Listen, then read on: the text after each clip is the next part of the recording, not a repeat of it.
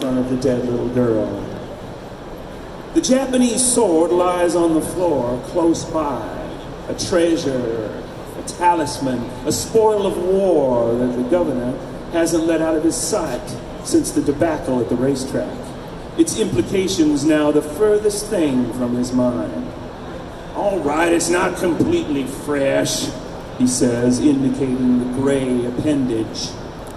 But I swear this thing was walking not two hours ago. The tiny cadaver jerks against its chain 18 inches from his hand. It emits another little growl, a broken chatty Cathy doll, and turns its frosted glass eyes away from the tidbit. Come on, Penny, it's not that bad.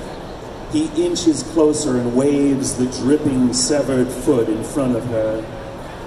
It's pretty large, hard to tell if it's male or female. The toes are small, but all natural, no remnants of polish. And it has already begun to turn blue-green and stiffen with rigor mortis. And it's only gonna get worse. You don't, you don't need it now, so come on, sweetie. Do it for an enormous thud. Makes the governor jerk with a start on the floor. What the hell? He turns toward the front door across the room. Another massive thud rings out. The governor rises to his feet. A third impact on the door results in drywall dust sifting down from the lintel and a faint cracking noise along the seams of the deadbolt. What the hell do you want? He calls out. And don't beat on my damn door so hard. The fourth impact snaps the deadbolt and chain. The door swinging open so hard it bangs into the adjacent wall in a burst of wood shards and dust, the knob embedding itself into the wood like a dowel. The inertia drives the intruder into the room on a whirlwind. The governor tenses in the center of the living room, fists balling up, teeth clamping down in a tableau of fight or flight instinct. He looks as though he's seeing a ghost materialize next to his second-hand sofa. Michonne tumbles into the apartment, nearly falling on her face from all the forward momentum. She skids to a halt three feet away from the subject of her quest. Getting her balance back, she squares the shoulders and fists also clenched, feet planting firmly now, head tilted forward in an offensive posture. And for the briefest of moments, they stand facing each other. Michonne has put herself together on the way over, her jumpsuit straightened, her top tucked in, headband tightened around her lush braids, to the point where she looks as if she's ready to begin a workday or possibly go to a funeral. After an unbearable pause, the two combatants, staring each other down in an almost pathologically intense manner, emit the first sound, and it comes from the governor. Well, well. His voice is low, flat, cold, with zero affect or emotion.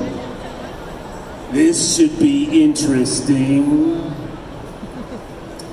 Now, a fight, the spontaneous hand-to-hand kind, comes in many varieties. In the East, the business of fighting is Zen-like, studied. In Asia, the weaker opponent learns to use the adversary's strength against them. The melees settled promptly. On the other end of the spectrum, the competitive rings around the world, freestyle battles can last for hours. But a third kind of fistfight occurs in the dark back alleys of American cities during which opponents engage in a wholly different kind of battle.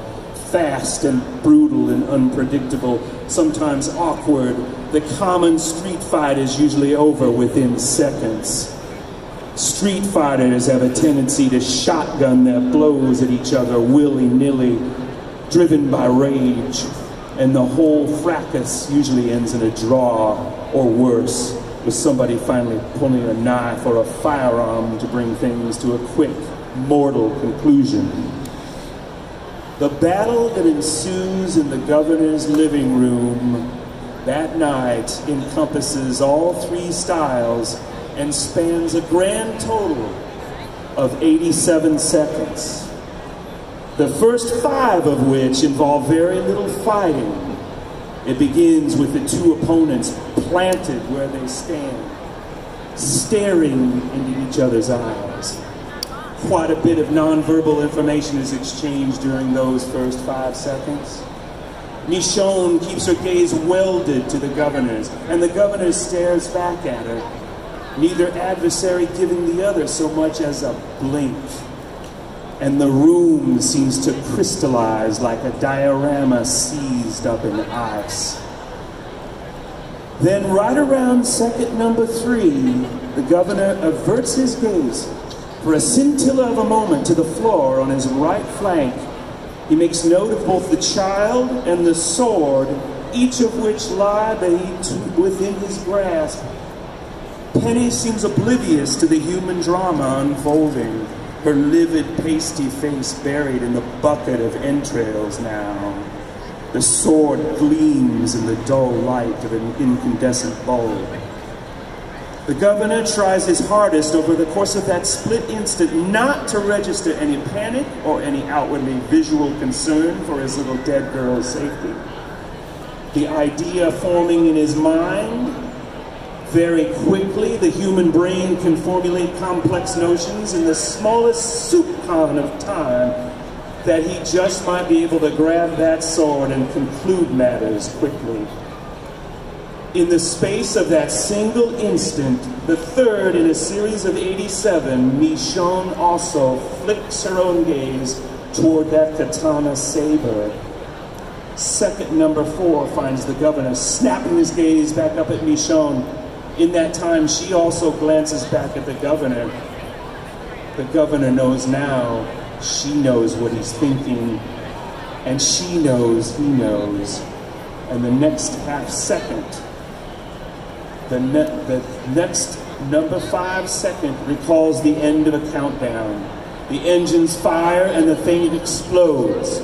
It takes six seconds for the next phase of the encounter to unfold. The governor dives for the sword.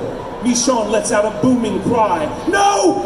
And by the time the governor's shoulder hits the carpet three feet from the blade and his outstretched hand has approached the general vicinity of that magnificent handle with its scaly serpentine pattern, Michonne has also moved in with the suddenness of a thunderclap. She instinctively delivers the first blow of the conflict at second number 11. Her leg comes up and she kicks out at him. The hard edge of a boot strikes the side of his face below the temple just as he is grasping the sword's handle. The sickly crack of hard leather fracturing a human mandible fills the room. A sound not unlike a celery stalk snapping. And the governor winces backward in agony, a thread of blood flinging from his mouth. He falls onto his back. The sword unmoves. The next eight seconds are a mishmash of explosive movement and sudden stillness Michonne takes advantage of the governor's punch-struck stupor. He has managed to roll over on his elbows and knees now, his face leaking blood all over the place, his lungs heaving. By darting quickly toward the fallen sword, she snatches it up and whirls back around in less than three seconds, and then spends the next four seconds marshaling her breath and preparing to deliver the killing blow. By this point, exactly 19 seconds have elapsed, and it looks as though Michonne has the advantage. Penny has glanced up from her feeding trough and softly growls and sputters at the two adversaries. The governor manages to rise on his wobbly knees. His face, without him even being aware of it, takes on an expression of pure, unadulterated bloodlust. His mind a TV screen at the end of a programming day, a blank wall of humming white noise, blocking out all extraneous thought other than killing this bitch right this instant. He instinctively lowers his center of gravity as a cobra might coil itself before striking.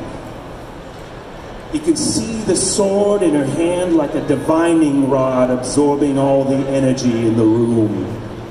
He drips blood and drool from his mouth. Michonne stands only five feet away from him now, with the sword raised. 27 seconds have transpired. One well-placed strike with that beveled razor's edge and it will all be over. At 30 seconds, the governor lunges.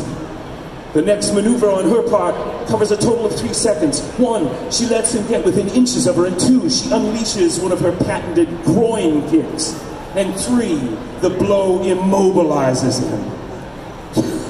At this proximity, the steel reinforced toe of her work boot connects with such extreme results that the governor literally folds in half, all his breath forced out of him. The mixture of blood, snot, and saliva in his mouth, spewing out in a spray across the floor. He lets out a garbled grunt and falls to his knees before her, gasping for breath the pain like a battering ram smashing through his guts. He flails his arms for a moment as though trying to hold on to something and then falls to his hands and knees. Bloody vomit roars out of him, splashing the carpet at her feet. At 40 seconds, things suddenly settle down. The governor watches and retches and coughs at the same time, trying to get himself together on the floor. He can feel her standing over him, gazing down at him with that eerie calm. He can sense her raising that blade.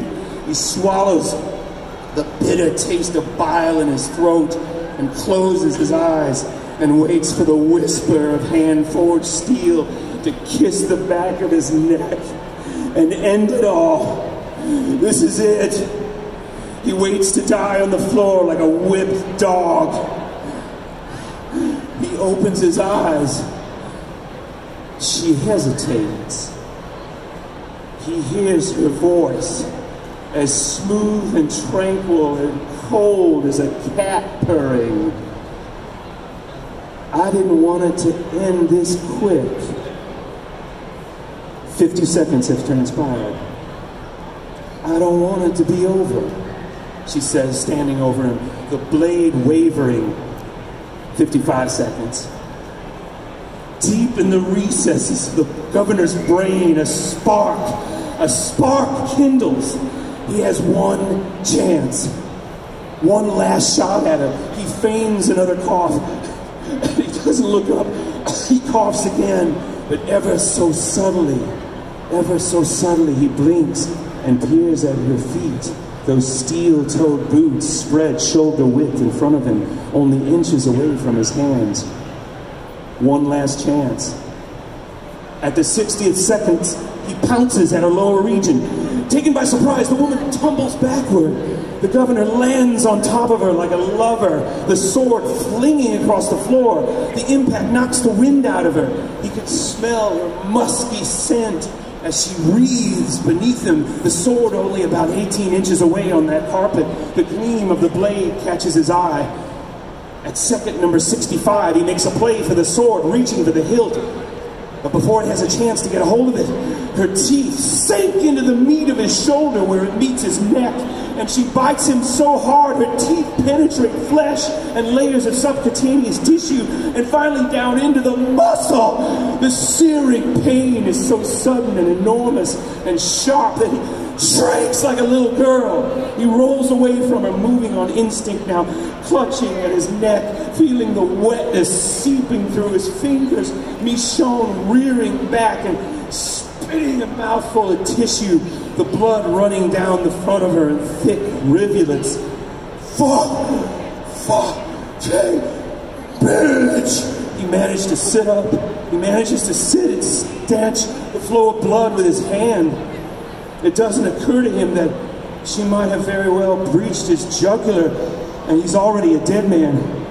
It doesn't occur to him that she's going to go for the sword it doesn't even occur to him that she's rising up over him again. All he can think about right then, at 73 seconds into the fight, is stopping all that blood from leaking out of his neck. 75 seconds. He swallows the metallic taste in his mouth and tries to tries to see through watery eyes as his blood soaks the ancient carpet. At 76 seconds, he hears inhaling sounds as his opponent takes a deep breath and rises up over him and then mutters something that sounds a little like, I got a better idea. The first blow of the sword's blunt-ended handle strikes his skull above the bridge of his nose. It makes a loud clapping noise in his ears, the brunt of a Louisville slugger hitting the sweet spot of a hardball, and pins him to the floor. Ears ringing, vision blurring, pain strangling him. He makes one last attempt to grab her ankles the iron hard handle comes down again on him. 83 seconds into the confrontation, he collapses. A dark shade coming down over his vision. The final blow to his skull comes 86 seconds in, but he barely feels it. One second later, everything goes completely black, and he's floating in space. Thank you.